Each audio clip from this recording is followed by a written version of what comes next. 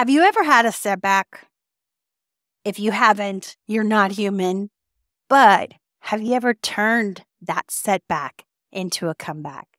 We're going to talk about that today. First of all, let's define what a setback means. What does it mean in personal and professional contexts? A setback is actually a difficulty or an obstacle that hinders progress or reverses some of the progress that has been made. I have had countless setbacks. But what I've done is I've turned them into comebacks and actually built upon that. And that's what we're going to talk about today. You know, setbacks are not endpoints, but they're rather pivotal moments for growth and learning. You know, like reframing thoughts, a butterfly metamorphosis, and positive psychology, and finding strength and opportunity in setbacks. That's what we're talking about today. Welcome to my YouTube channel. My name is Kathie Owen. Have you ever watched a butterfly turn? I mean, a caterpillar turn into a butterfly? You know, from the cocoon, that metamorphosis that takes place. I've watched that. And actually, if you ever try to help a butterfly. And trust me, if you're watching this beautiful process, you want to try to help it because it's struggling and it almost looks like it's going to die. But if you help that caterpillar out of the cocoon, you will actually kill it. There is so much beauty in that analogy. And that's what we're talking about today turning a setback into a comeback of setbacks. You know, there's a typical emotional and psychological response to setbacks frustration, disappointment, self doubt, fear, indecision, overwhelm. Those are emotional and psychological responses to setbacks. But let's explore how these responses, while they are natural, can be reframed into positive learning experiences. And I'm not talking tos- toxic positivity.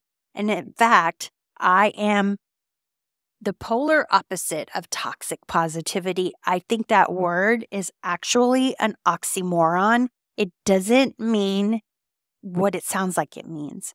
Actually, when somebody calls positivity toxic, they're talking about forced positivity.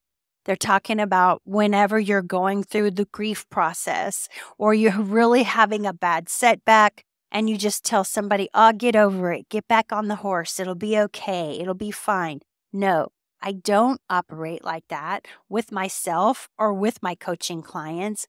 That is actually forced positivity.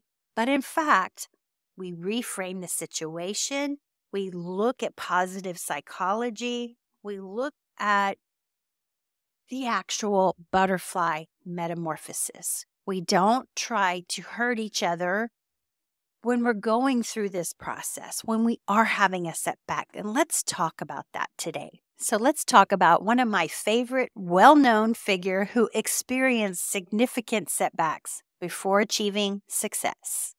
I love talking sports psychology. And in fact, my favorite athlete is Jose Altuve and I would love to study under his sports psychologist. So, Jose Altuve was actually told during tryouts that he could not play professional baseball ever. And he's in fact turned into one of the best baseball players in professional baseball today. And he's had many, many setbacks. One of my ones that I really like to study and discuss is when the Astros took part in the cheating scandal of professional baseball back in 2017. You know, Jose Altuve was part of that cheating scandal that they said. But in my belief and what I understand about baseball, no one cheated in this scandal because, first of all, they stole signs from the other team. Do you know how hard it is to steal another team's sign? On top of that, let's say you figured out the sign or you figured out what pitch is coming to you out of the pitcher's hand. That ball is still coming 90 to 100 plus miles an hour at you, and it's a little bitty baseball, and you have to hit it with a bat. how does that happen? And even if you did cheat and did understand what pitch was coming, you still have to have the skill to hit the bat. Okay, I get it. Other teams were hurt, their feelings got hurt, or they thought, no, we didn't cheat. Although it turns out that they did, the Red Sox did, the Yankees did, everybody probably does. As long as I've watched baseball, this has gone on. So let's just analyze the situation a bit.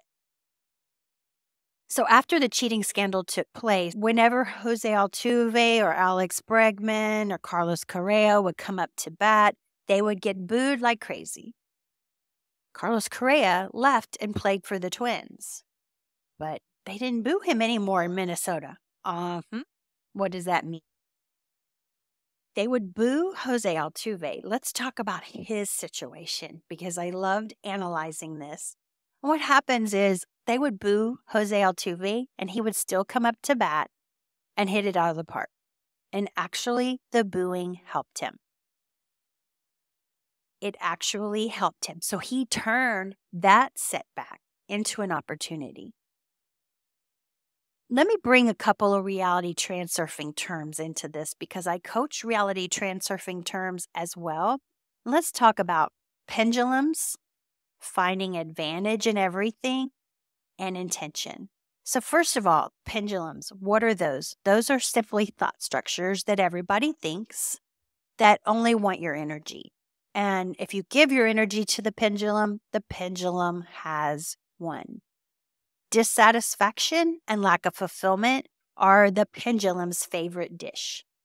And so that's what a pendulum wants you to do. There are constructive and destructive pendulums. And actually, if you want a guide on pendulums or reality transurfing, I have several free resources at kathieowen.com backslash reality dash transurfing. And you're free to go download those. I'll have the link to that in the show, lo- show notes and description below. But a pendulum just wants your energy. And when it comes to something like sports, it's real easy to see a pendulum in action.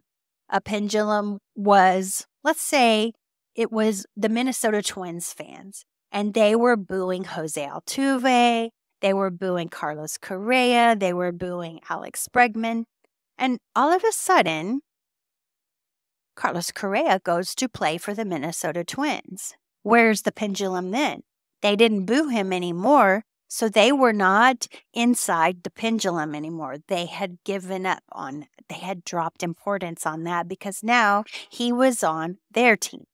That concept right there is importance. And I love talking about importance and reality transurfing because importance, when you put something way up on a pedestal, it's harder to reach. It gets out of the way. The pendulum starts coming in and tries to take it from you. And importance you want to keep it low. It's hard to totally reduce importance. And I get that, but it's good to keep it in balance, to keep it in check. And that's something that I discuss all the time. And then we have intention. We have to set goals. We have to set clear goals. We have to set realistic goals. We have to have realistic intentions for our days and our our years, our months, whatever we have set up.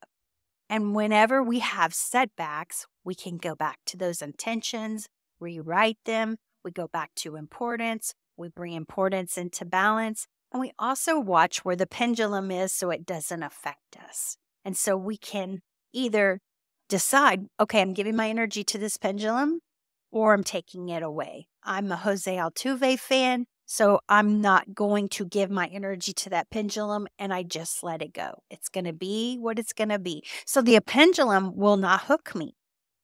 And actually, that can affect your setback. Because back to typical emotional and psychological responses of setbacks, you've got frustration, disappointment, self doubt, overwhelm, anxiety, those things come as a psychological aspect or psychological response and even an emotional response to a setback. You know, those responses are all very natural, but they can be reframed into positive learning experiences, just like Jose Altuve reframed the booing crowd into a positive learning experience and he turned it around and he made it work for him. And you can see this happen countless times in sports, in sports psychology. Another thing that happens in entrepreneurship is a setback. You have a failed venture, a financial loss.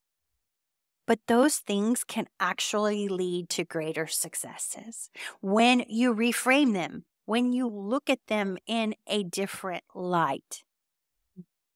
For example, I used to use Kajabi. I have a blog post where I write about my switch from Kajabi to Squarespace. Kajabi and Squarespace are very similar, except for Kajabi is a platform of many, many things, and it actually can hold your courses, it can hold all of your sales pages. And I used to use Kajabi. Be in my thought process were, well, I'm going to use this fancy platform, which costs $200 a month, sometimes even more than that. And I can hold all of these courses and I can hold all of my emails platform and my blog. And people are just going to love it because I'm using an expensive platform. That was my mindset back in the day. Well, all of a sudden, I sent an email to my subscribers and I had segmented the list. Let's say I had 500 subscribers and I sent this segmented email to 50 of them.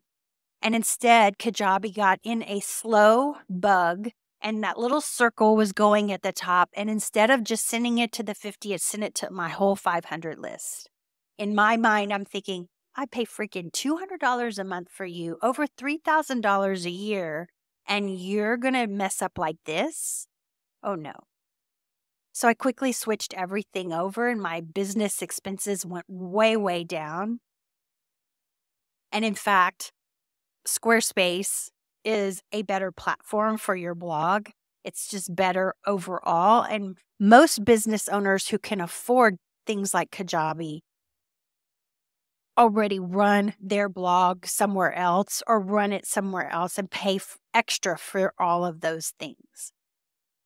But I just didn't want to do that. This is my side hustle. I'm an entrepreneur. I'm not out there to do this to support my whole family at this time. I'm doing this as a side hustle and I enjoy it. And it's actually something I'm very passionate about, whether I have two people or 200 people or 2,000 people.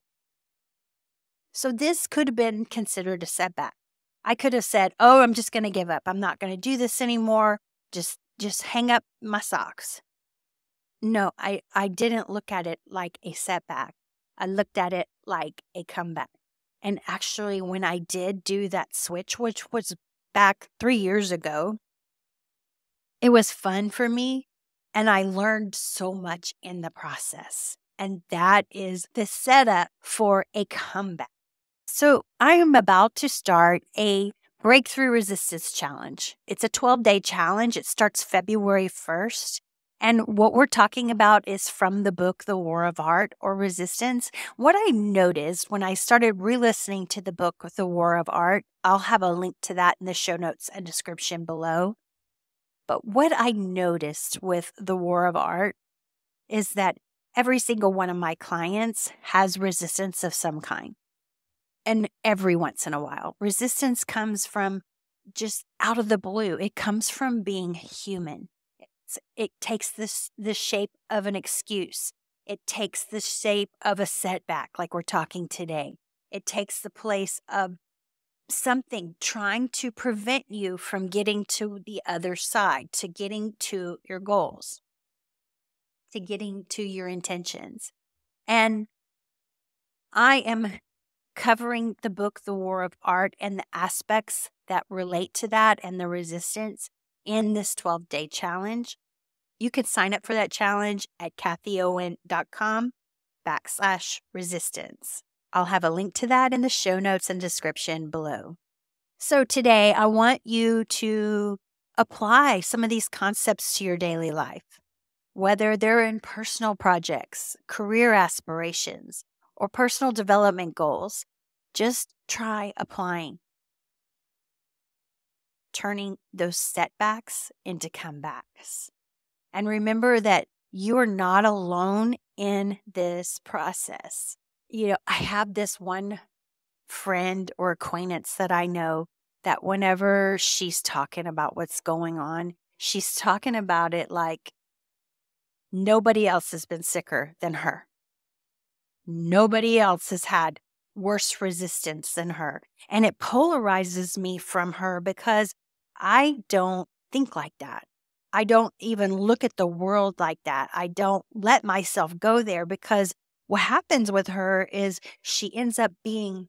I had this friend of ours write on a napkin, negative Nelly over here, because she was complaining so bad to him that he was trying to get everybody, hey, look, the pendulum is pulling me over here. And it just cracked me up because I'm so polarized against that. And I wouldn't even say I'm against it. I just don't want that in my energy that I avoid it.